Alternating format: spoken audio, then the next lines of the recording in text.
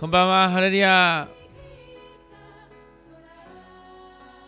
皆さんお元気でしょうか？稲さん、ハレリア。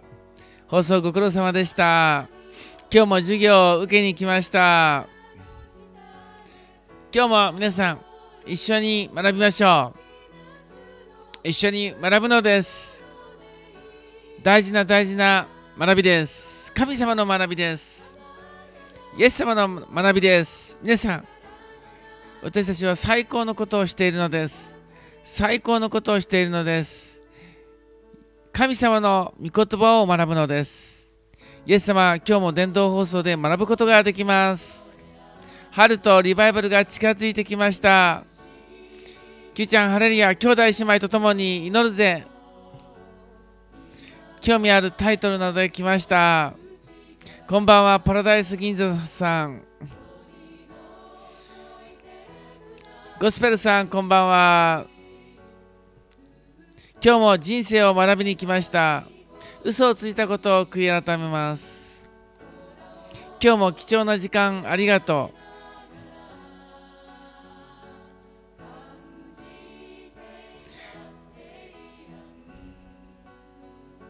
皆さん、私たちは、えー、本当に幸いです。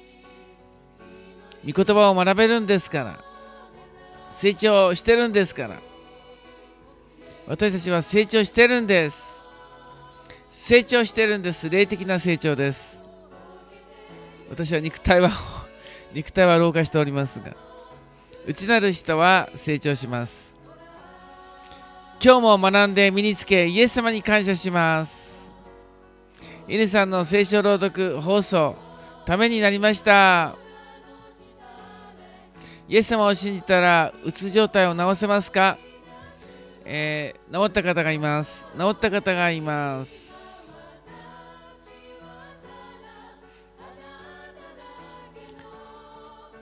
こんばんは。大沢涼子さん。こんばんは。愛を学びに来ました。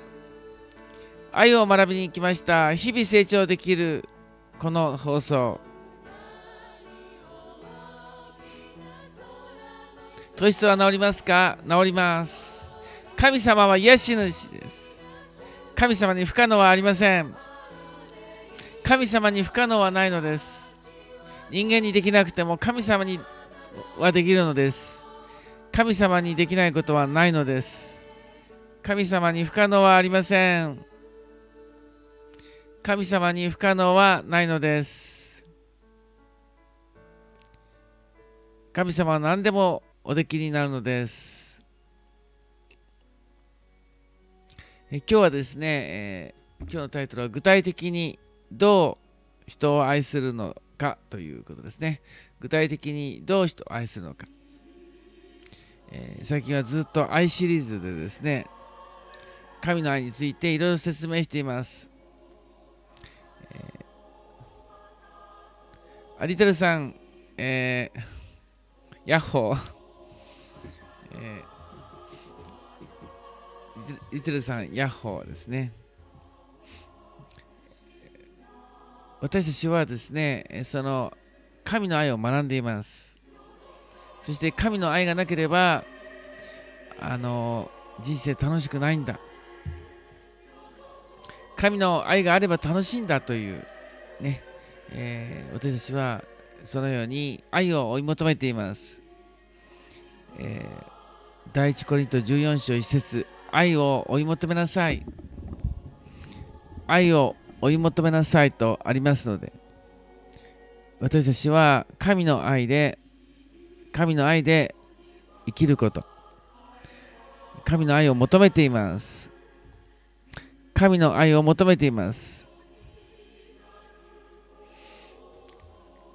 えー、それでですね、聖書は意外と具体的に書いてあるんですね。どうやって愛するかということを、えー、まあ、この間の第一コリント13章もある意味ではそうですね。え愛は寛容です。愛は親切です。すごい具体的だと思いませんか？でまさにあれ具体的ですよね。愛は礼儀に反することをせず、愛は自慢しません。すごい具体的ですよね、皆さんね、あれね。もうまさにあれが具体的なんですが、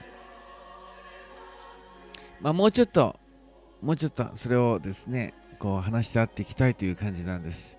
もう第一コリント13章には具体的な愛が書かれているんですね。不正を喜ばずに真理を喜びます。愛は寛容です。愛は自慢しません。愛というものがどういう形になるのか。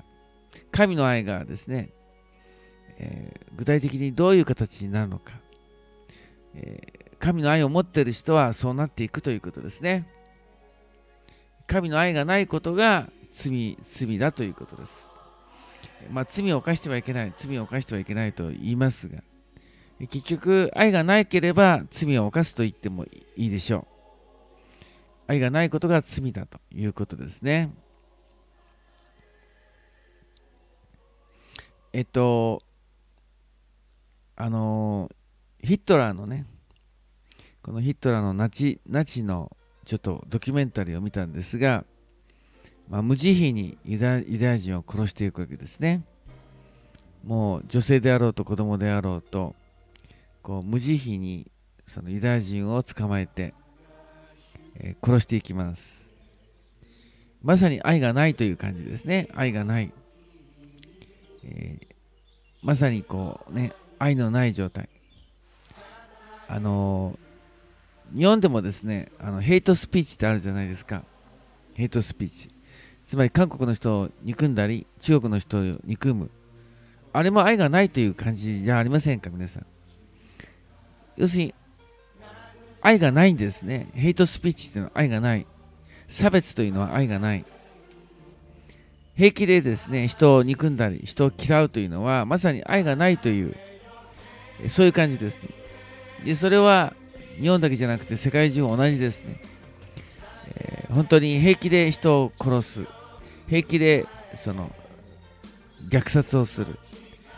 平気でですね、暴力を振る。これはですね、まさに愛がないということなんです。で神様がですねこの今の世界の中でいろんな問題が起きてるのは愛がないんだよ。愛がないんだよということを神様が人々に教えるためだと思うんですね。どうしてあんな残酷なことをしたのか。どうしてあんな残酷なことができるのか、まあ、それは愛がなかったんだということですね。人間の愛ではありません。ね。人間の愛ではないんです。神の愛が必要なんですね。すずめさん、ハレリア。まあ、その人間の愛と神の愛の違いというものを、まあ、よく理解しなければなりません。今夜も油注ぎを受けに来ました玉袋さん。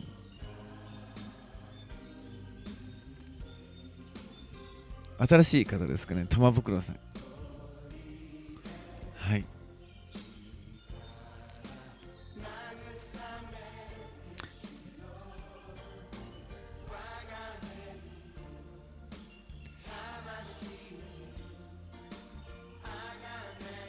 とにかくですねいろんな犯罪いろんなね残酷なことそれは全部愛がないということですね。愛がないということですね。で、えー、具体的にですね、その愛とは何かということを話したいと思います。えー、っと、まあ、聖書にいろいろありますが、今日思い、ちょっと、まあ、すぐに言えるのはですね、こういうことがあるんですね。具体的にどういうことかということですが、えっとですね、すべて求めるものに与えなさい。すべて求めるものに与えなさい。これすごいですよね。えー、私がですねあの一緒私ももちろん実践しようとしてます。であの、まあ、できないことはもちろんできないんですができることはできるだけしてしてあげること。何か求められたらできるだけしてあげること。これがですね大事なことだと思います、まあ、私はですね、まあ、つまりですねちょっと乾燥、えー、乾燥機直してとかですね。なんかそのドア直してとかですね、まあ、しょっちゅう頼まれるわけですね。で、まあ、まあ、忙しい時もあるし、ちょっとね、あの、なかなか時間が取れない時もあるんですが、できるだけですね、まあ、すぐにね、すぐに、まあ、やってあげるみたいなね、えー、トイレットペーパー買ってきてって言ったら、まあ、すぐトイレットペーパー買ってくるとか、えー、ね、あれしてこれしてって言ったら、できるだけですね、やってあげる。ね。それからまあ子供子供がですね、やっぱりあの、プリントは、プリントしてほしいって言ったら、まあできるだけ早くしてくるはい、みかんさん、遅くなりました、Q さん。はい。みかんさん、こんばんは。よくいらっしゃいました。子供がですね、あの、ちょっとあの、何か教えてほしいって言ったらですね、まあ、すぐにこう、調べてあげたり、教えてあげたりする。皆さん、やっぱりですね、求められたらできるだけ応じてあげる。ね、あ、めんどくさいな、もううるさいな、もう嫌だなというふうにね、そういうふうに思わないでですね、できるだけ、え、頼まれたらしてあげる。え、これはですね、あの、具体的にとても愛するということではないでしょうか。自分にしてもらいたいと望む通り、人にもそのようにしなさい。自分にしてもらいたいと望む通り、人にもそのようにしなさい。自分がしてもらいたいことをする。えー、自分がしてもらいたいことをする。これがとても大事ではないでしょうか。えー、自分を愛する者を愛したからといって、あなた方に何の良いところがあるでしょう。そう家族、ね、家族を愛したからといっても何の得があるかということですね。えー、まあ、敵敵のために何かしてあげる。えー、ね、知らない人のために何かしてあげる。ね。あの、まあ、あれ、要するにですね、あの、好きな人のためだけを愛愛するというのは、それは本当の愛じゃないんですね。愛っていうのは、まあ、誰でもということなんですね。えー、誰でも、あの、何かしてあげるという。そこがですね、人間の愛と人の愛の違いです。ですから、あの、まあ、ネット牧師でですね、まあ、いろいろ頼まれることがあるんですね。えー、この間の昨日かな？昨日ある人からコミジャックしてほしいって言われまして、で、早速コミジャックをしましたけれども、えー、ネットではあのこのネットで頼まれることがたくさんあるんですよ。えー、コミ入ってという、ね。大体、コミに入ってって言うと大体入ります。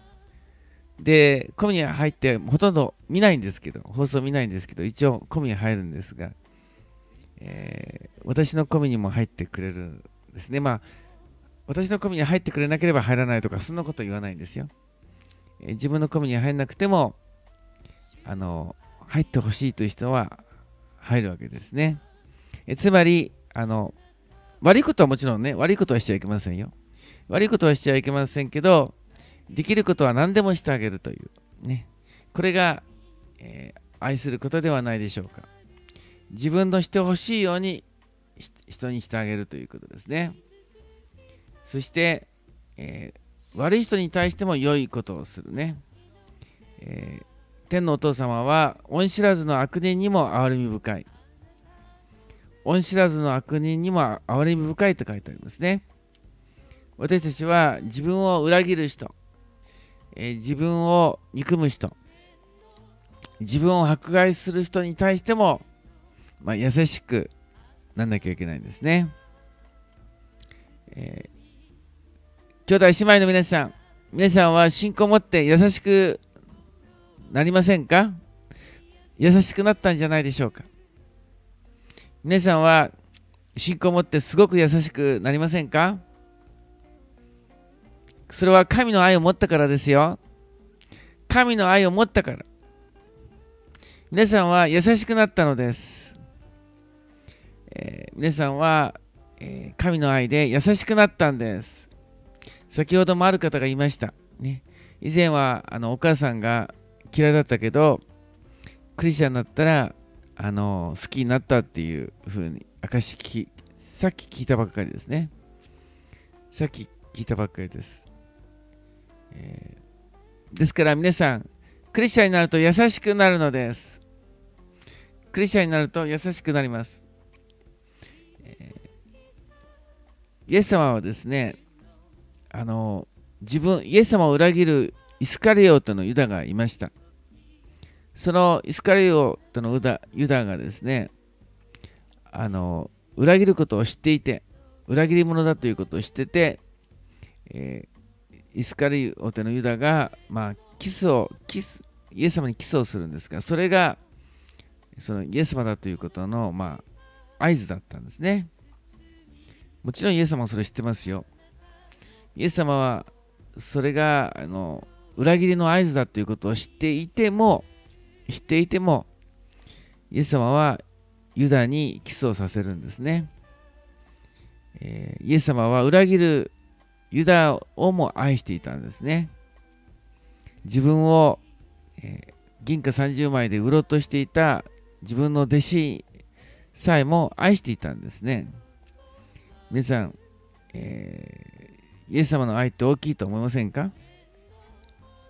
それからイエス様はですね、あのこうイエス様を逮捕しに来た人たちがいましたね逮捕その時にペテロがですねそのイエス様を助けようとしてね助けようとしてこうナイフであの切りかかったんですね。そしたらそのその中の人たちの一人がですねそのペテロのナイフがこう耳に耳にかかってね耳がちょん切れちゃったんです。耳がちょん切れちゃった。イエス様は何したと思いますか？イエス様はその、ね、自分を助けようとしたペテロが切ってしまった敵の耳をですね敵の耳をこう当てて癒したんですね。多分ですねちょん切れた耳たぶがもう一回くっついたんだと思うんですね。皆さんすごいですね、えー、イエス様がこう耳に手を当て当てると、えー、ちょん切れたえー、耳がもう一度つなあの治ったんです。で耳が治ったのもすごいですがもっとすごいのは皆さん自分を捕まえに来た人ですよ。自分を捕まえに来た人の耳を癒すって皆さんどんなでしょうか？皆さん。すごいと思いませんか？皆さんこれが神の愛ですよ。これが神の愛。皆さん、ありえないでしょ？皆さん、ありえないと思いませんか？自分を捕まえに来た人の耳を、ちょん切れた耳を癒してあげるという。もう皆さん、だって逮捕されるんですよ、皆さん。イエス様はその時にもう逮捕される寸前ですよ。そんな耳を癒してる暇、普通ないじゃないですか。ね、そうでしょ、皆さん。普通自分のことで精一杯じゃないですか、逮捕されるのに。そそんなイエス様がですね自分が逮捕されることよりも自分が逮捕されることよりもその自分の一番弟子が焦ってですね焦って傷つけてしまったその誰かの耳をですね癒す癒してあげたという神様はそういう方実はですよ実は皆さん神様というのはそういう方なんです。神様というのはそういう方なんです。神様は愛のお方なんです。自分のことよりも人のこと。自分のことよりも人のこと。神様はの愛は本当に、え自分を犠牲にして人を救う方なんです。まあ十字架がまさにそうですね。十字架。イエス様は自分を犠牲にして自分を犠牲にして人を救ったんです十字架はまさに神の愛を表しています。神様の愛を表しています。神様の愛を表しています。ぜひ皆さん十字架が模範です。イエス様が模範です。私たちはあ本当にどうやって人を愛するのか。どうやって人を愛するのか。自分を犠牲にして愛することなんです。自分を犠牲にして愛する。自分を犠牲にして愛する、えー、ね、何かですね頼まれてなんか頼まれてそれにこう、ね、求めるものに与える。それには犠牲が必要ですね。時間の犠牲が必要かもしれません。何かこうね、えー、エネルギーね何か犠牲が必要です。お金の犠牲もあるかもしれません。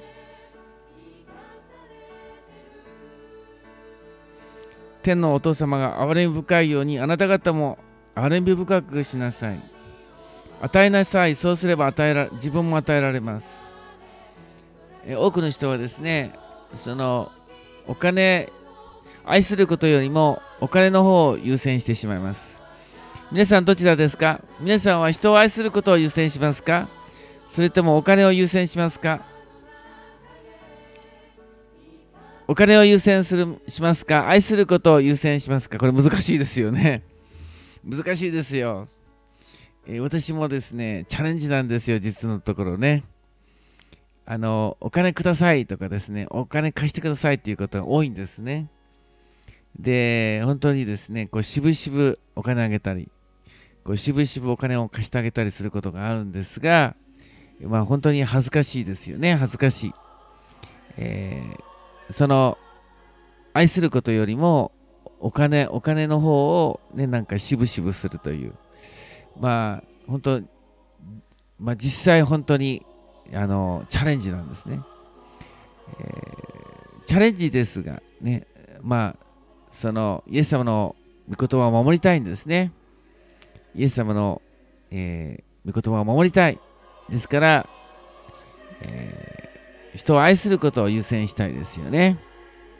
えー、もう本当に私ももっともっと、えー、それを実践したいと思いますが、えー、それはなかなか難しいということですね。難しくてもね、それを追求したいですね。追求したい。えー、返してもらうことを考えずに貸しなさい。皆さんお金貸すときはですね、もう返してくれと言っちゃいけないんですよ、皆さんね。えー、ぜひ皆さん、あの、お金貸して、返してくれ、返してくれ。で、私もですね、あの、以前、以前ですね、あの、返してくれって言ったことがあります。で、その時ですね、やっぱり返してくれって言うとですね、もう来なくなっちゃうんですね。で、来なくなっちゃうということは、やっぱりその人に伝導できなくなっちゃいます。だからやっぱりあのお金返してくれというのはやっぱり人間関係壊れますね。壊れます。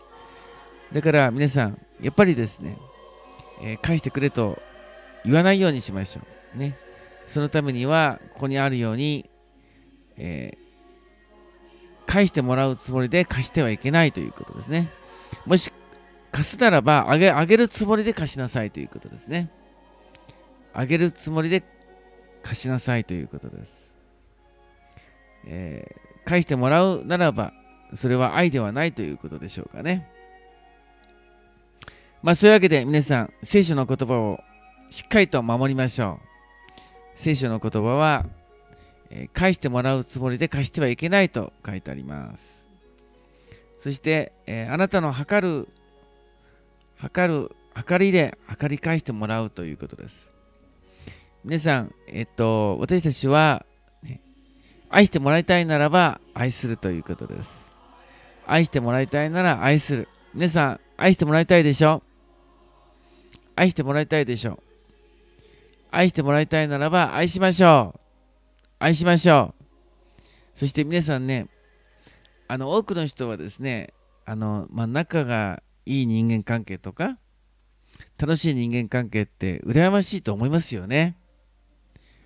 あのあああんなに仲いい家族いいなとかあんな仲のいい、恋人同士いいなとか誰でもそういういい人間関係欲しいじゃないですか。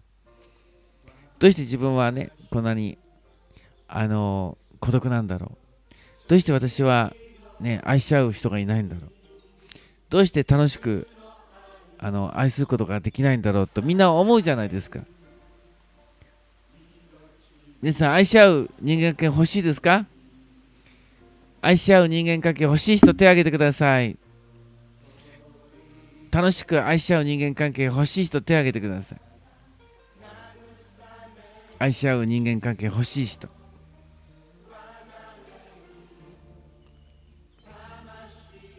楽しく愛し合うような人間関係欲しいなと思う人。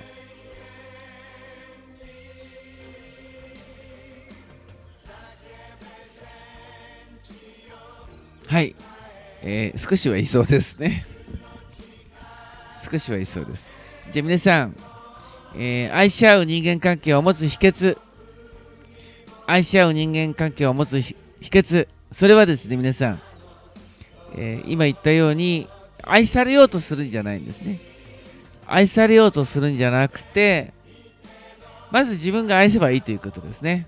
自分が測るように測られるわけでしょ自分が測るように測られるんだからだからとにかく愛されようとするのを待つんじゃなくて自分から愛せばいいっていうことですねですから皆さんその手を挙げた方はですねもう今日から実践しましょう今日からですねとにかく、えー、愛されようとするよりもまず愛しちゃうっていうことですね頼まれたらどうするんですか？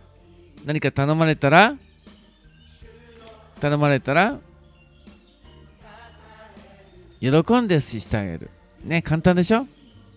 ね、頼まれたら断っちゃ、断っちゃダメ、断っちゃダメ。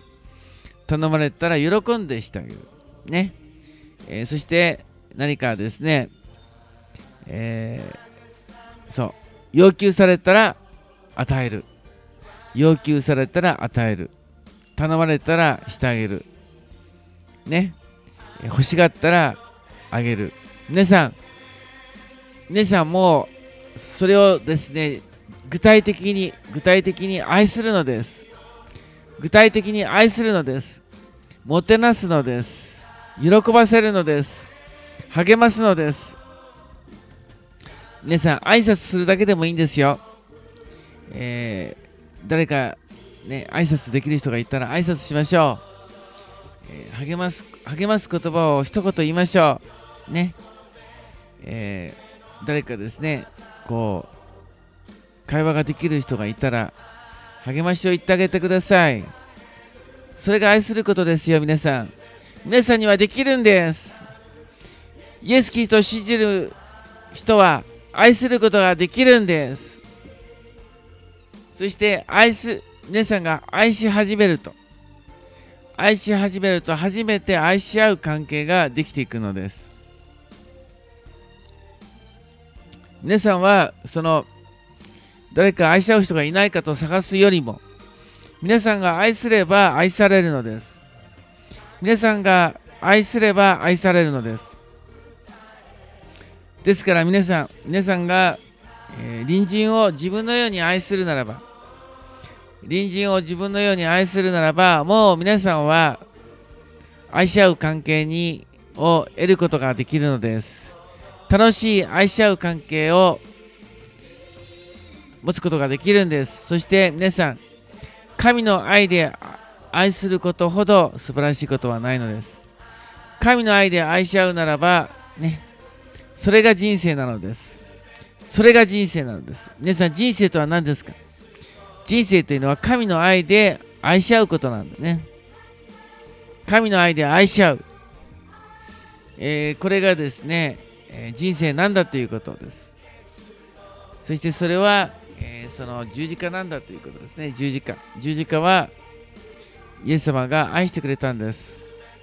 私があなた方を愛したようにあなた方も互いに愛し合いなさい私があなた方を愛したようにあなた方も互いし互いに愛し合いなさいイエス様が十字架で模範を見せ見せてくれたんですイエス様が模範を見せてくれたんです私たちもそのイエス様の模範で、ねえー、イエス様の模範で愛し合うことができるのです。できるのです。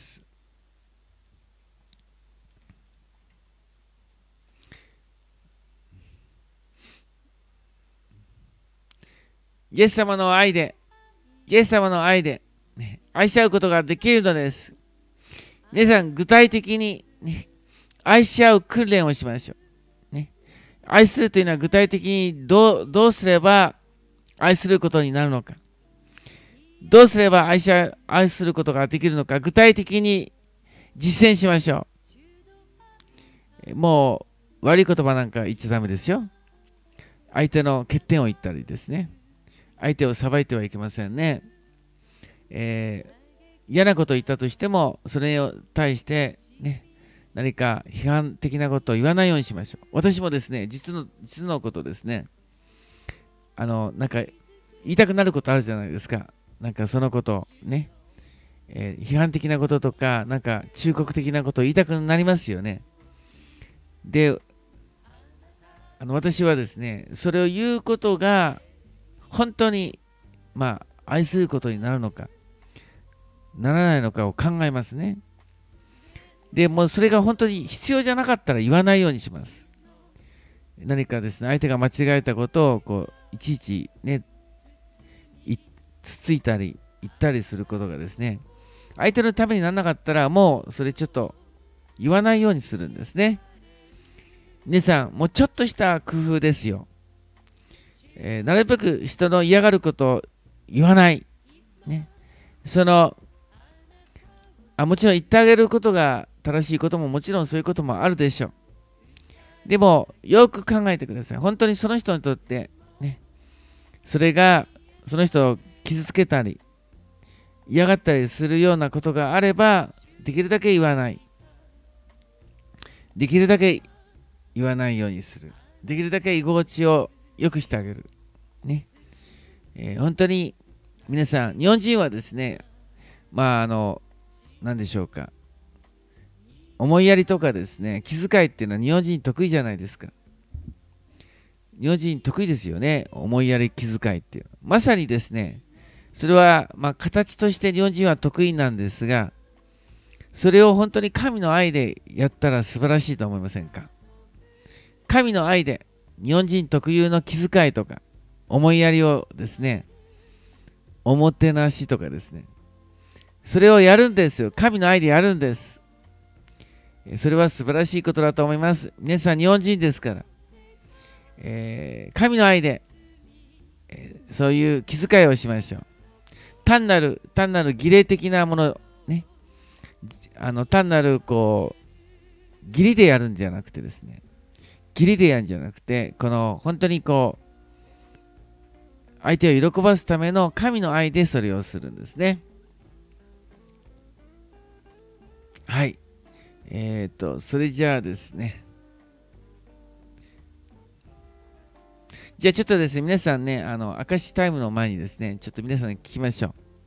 皆さんが、まあ、実際にしているやり方、具体的に愛する愛し方、皆さんが実際にしようと思っている愛し方、ね。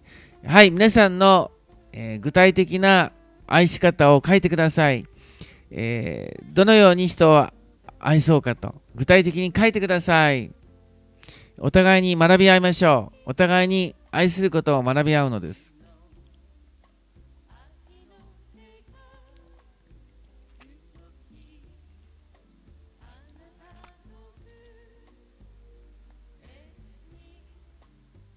いつも笑顔で挨拶する。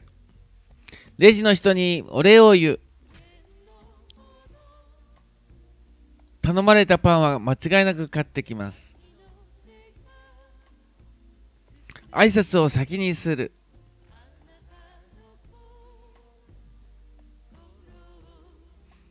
恵まれない子供たちに寄付をする。自分の時間を分け与える。近所の人に挨拶をする。散歩に連れて行く。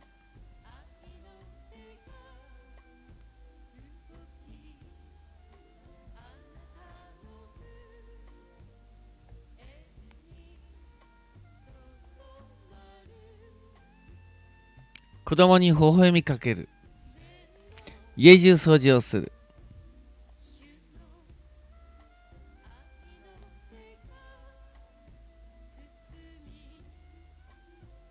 嘘をつかない。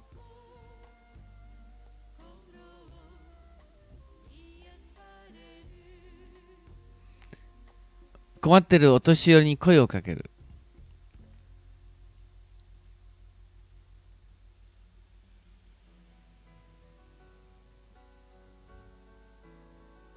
相手の悩みを聞いてあげる。運転の時よく道を譲る。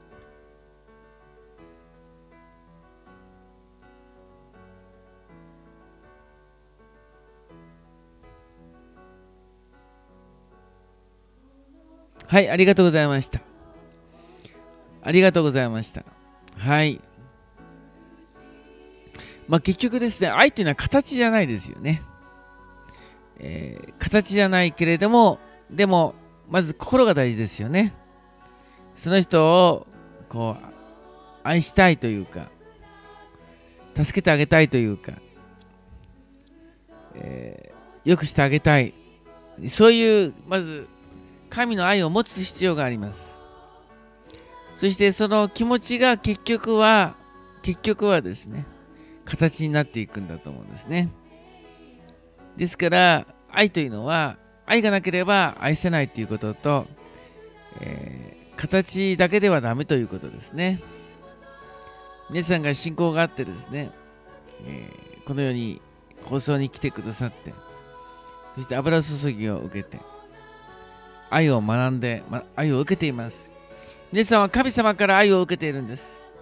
神は愛ですから。神様から愛を受けていて、その愛を持ってるならば、具体的に行動になっていくということです。そして愛することは素晴らしいんだということを、まず皆さん価値観を持ってほしいんです。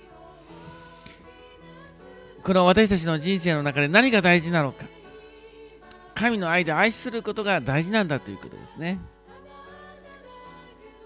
愛があれば、もうそれでいいんだみたいな。ね。神の愛が大事だって。皆さん、アメンですか？神の愛があれば、もういいですよね。最高ですよね、皆さん。その価値観分かりますか？神の愛があれば、もうそこに神様がおられる。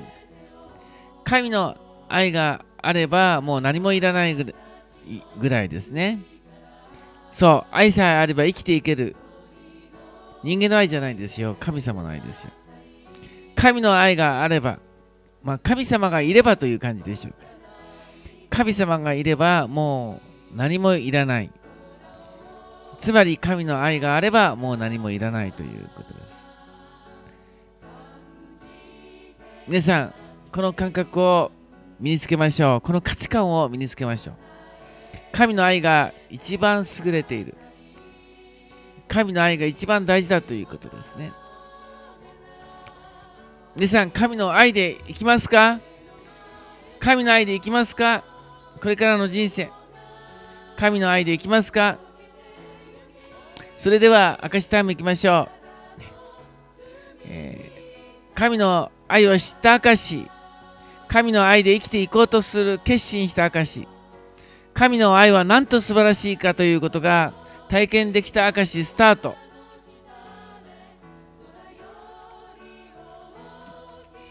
このように大切なのは愛し合うことだけと知りました。神の愛で生きていく生きていく。神の愛があれば過去のことをぐちぐち言わなくてもよくなる。意地悪する人を許したいです。神の愛を信じて生きていこうと思った。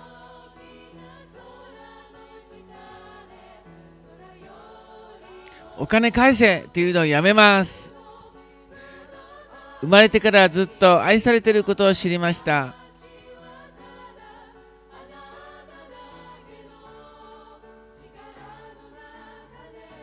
イエス様を信じてから韓国を愛せるようになりました。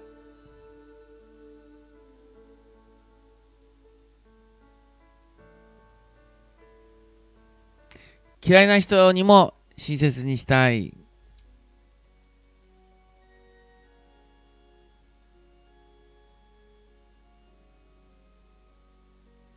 イエス様自体が愛の塊だと知りました。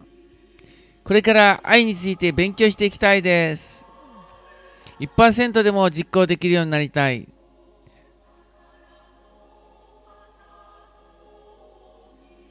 同棲をやめられた友達に貸したお金を諦めようと思いました。アメン。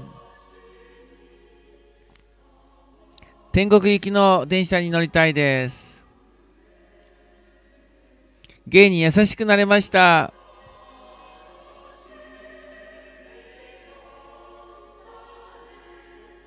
近隣諸国に歩み寄りたいです。隣人に対して優しくしようと思いました。神の愛に満たされてお酒やめました。愛のままに。わがままはダメです。この世界に愛がありますように。イエス様の愛を行い、行いで伝えていきたいです。人に感謝できるようになりました。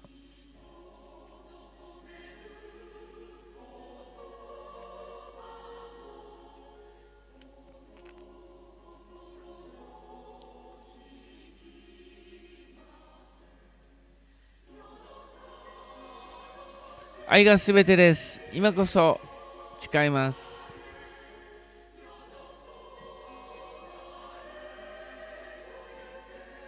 浮気した彼女、元彼女を許しました。母もこの放送で明るくなりました。靖国参拝は愛のない恋だと思った。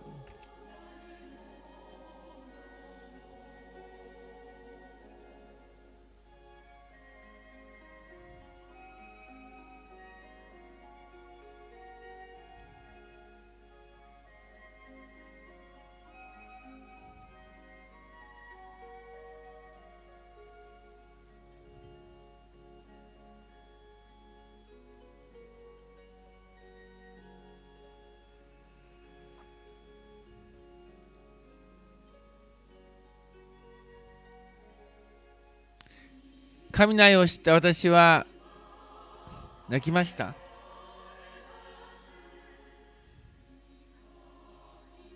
恋愛は嘘の愛だと気づきました。愛することの素晴らしさを知りました。ホモの方々に優しくできるようになりました。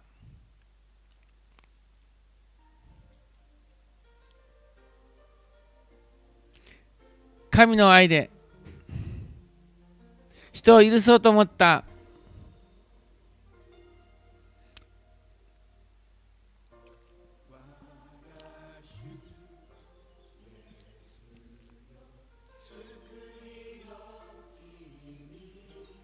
神の愛で生きる喜びを知りました。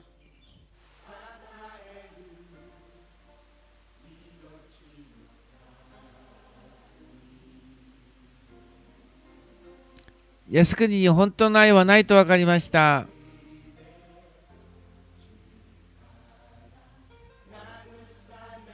神の愛で同性への思いが消えました。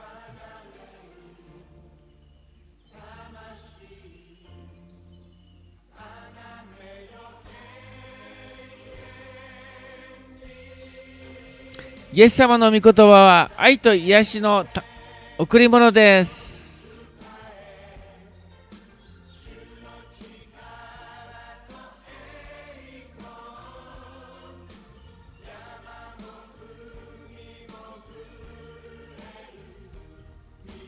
イエス様のおかげでプライドを捨てれました。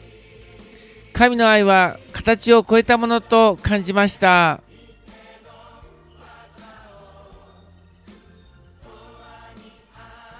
僕もイエス様のようにたくさんの人を愛したいです。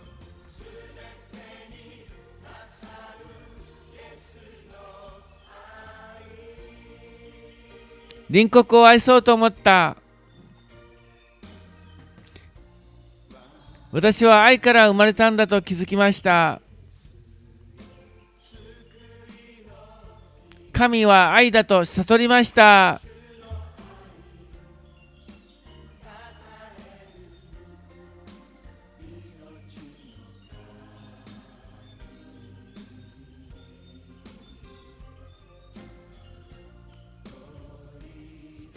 愛さんさんとこの身に降ってほしいです。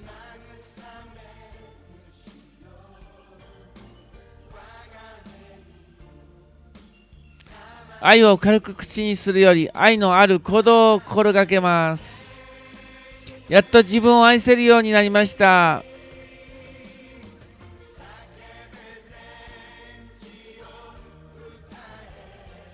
イエス様の愛で目が目覚めた。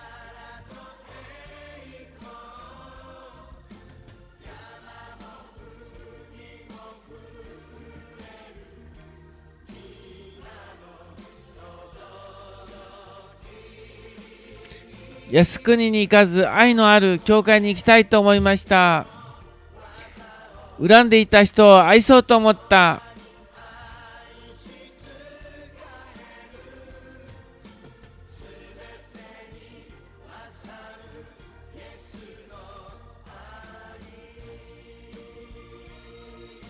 すべての人に愛を持って感謝します。人間の愛は偽善だと分かりました。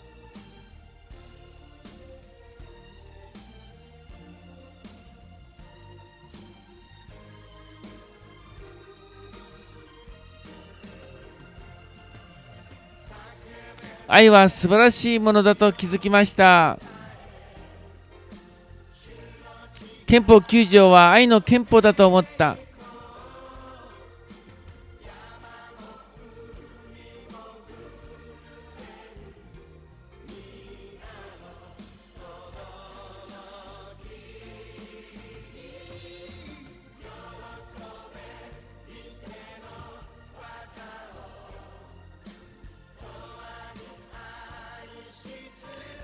天皇にも本当の愛を知ってほしいです。日本も世界を愛します。天皇にイエス様を教えてあげたいと思いました。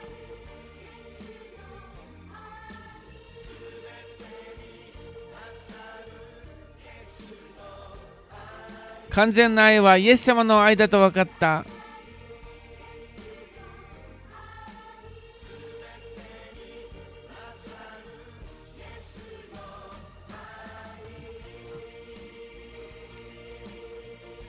はい、ありがとうございました。ありがとうございました。アメン。人嫌いを直そうと思った。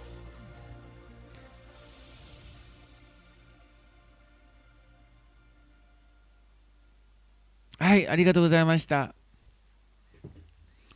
えー、愛することはですね、素晴らしいと皆さん気づいてくれて、えー、嬉しいです。そして確かに難しいです。ね、チャレンジですよ。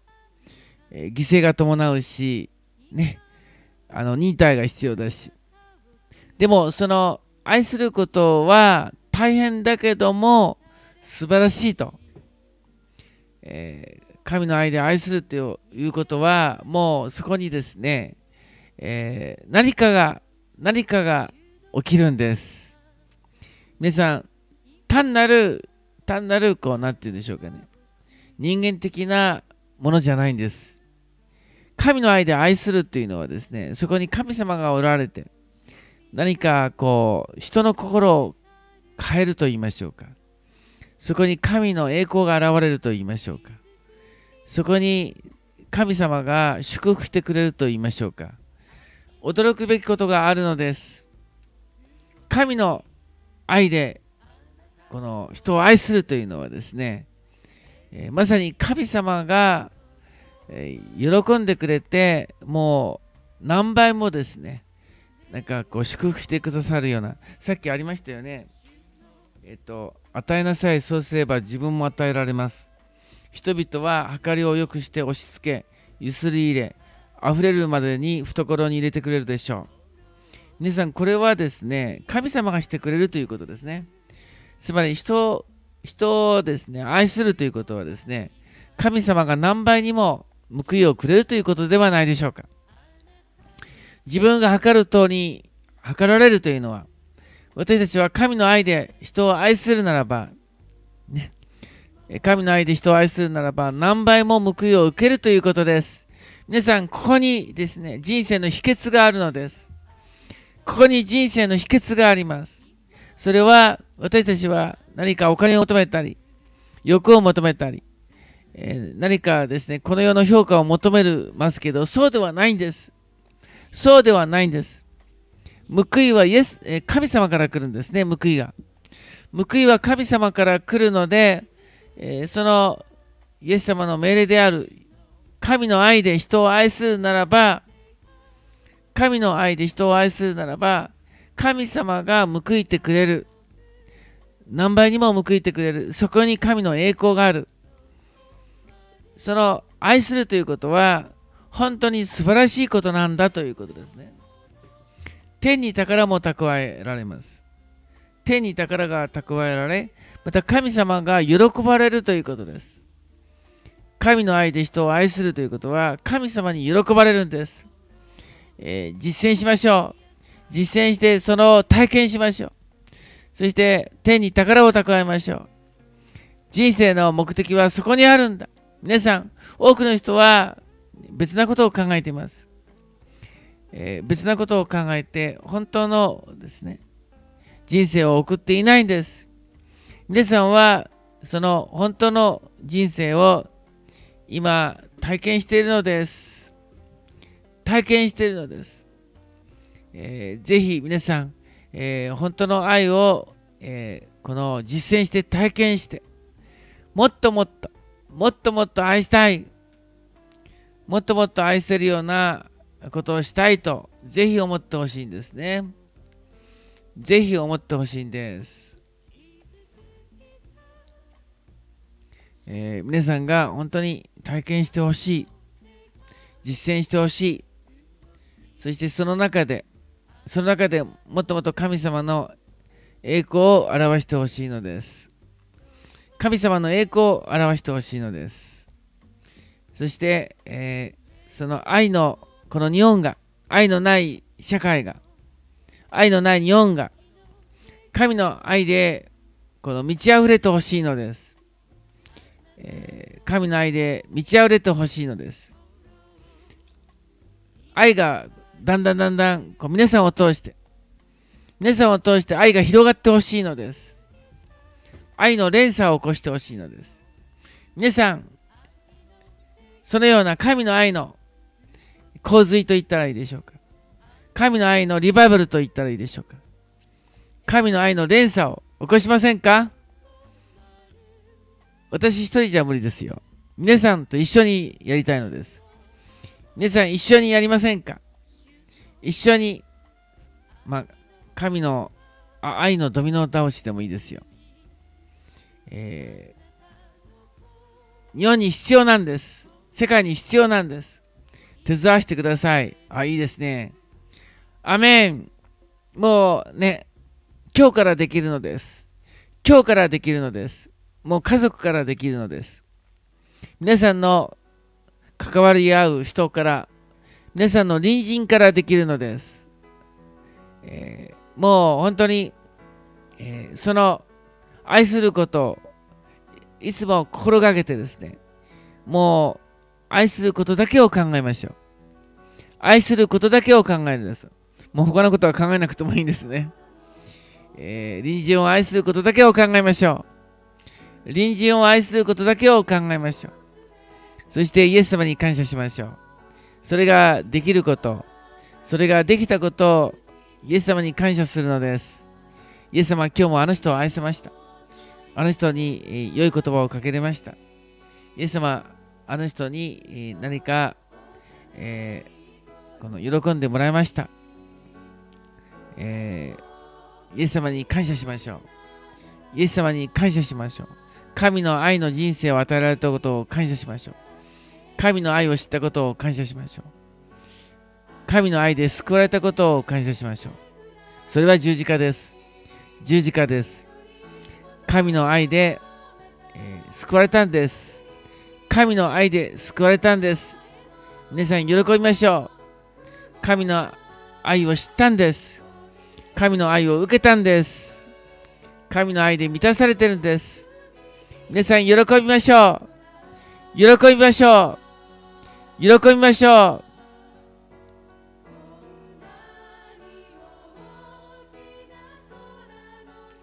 えー、ぜひ、えー、皆さんからその本当に日本がこう良くなるリバイバルが起きてほしいのです。えー、皆さんからリバイバルが起きてほしいのですそれでは、えー、招きをしましょう、えー、今日話を聞いて具体的に、えー、人をどうやって愛するか。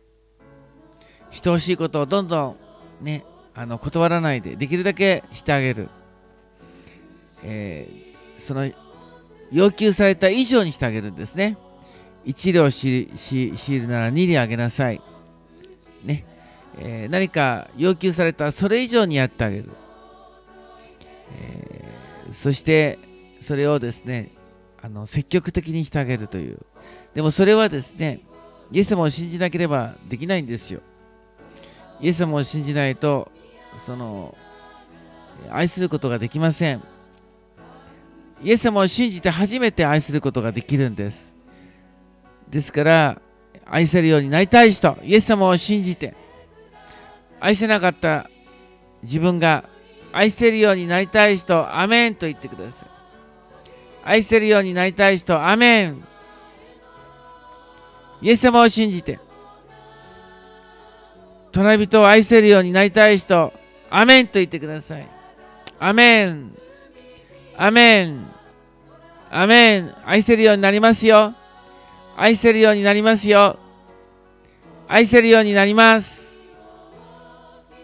誰でもなれます。イエス様を信じれば、人を愛せるようになれるのです。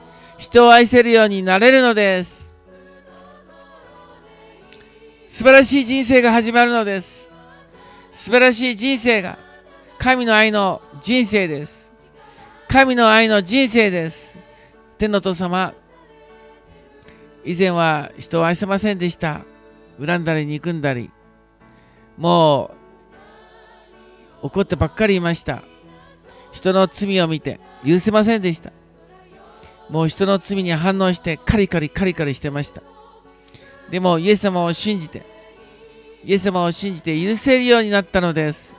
許せるようになったのです。人の罪を許せるようになりました。人の悪を許せるようになったのです。イエス様感謝します。感謝します。そして許せるだけではなく、愛せるようになってきました。愛せるようになってきました。今、アーメンといった方々が人を愛せるようになれますように、人を許し、愛せるようになりますように。あなたの愛で人を愛せるようになりますように。そしてそこに素晴らしい、その和解がありますように。許しがありますように。癒しがありますように。奇跡が起きますように。人が神の愛で人を愛するときに何かが起こります。何かが起こります。神の愛で愛するところに奇跡が起きます。何かが起きます。イエス様どうぞ。アメンといった方々が愛せるようになりますように。愛せるようになりますように。奇跡が起きますように。奇跡が起きますように。和解が起きますように。イエス様、本当に大事なこと。それは神の愛で愛し合うことです。神の愛で愛し合うところが神の国です。これ以上のことはありません。これ以上のことはありません。今、リスナーの方々が、それを実際に実践できるように、実際に実践できるようになれますように、助けてください。人を許すことができますように、人を受け入れることができますように。どうぞ、イエス様、愛を注いでください。愛を注いでください。そして愛することを求めますように。リスナーの方が全員がどうやって愛そうかどうやって喜ばそうか愛することを求めますように。自分を喜ばすことではなく隣人を喜ばすことを追い求めますように。追い求めますように。素晴らしいことが起きますように。日本にリバイバルが起きますように。奇跡が起きますように。イエス様の皆によってお祈りします。アーメンアーメンアーメン素晴らしいことが起きますよ。皆さん、素晴らしいことが起きます。明日の朝7時、来てください。おやすみなさい。シャローム。おやすみなさい。シャローム、シャローム。